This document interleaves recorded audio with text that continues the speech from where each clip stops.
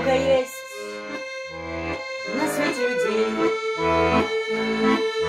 Добрых да хороших. Только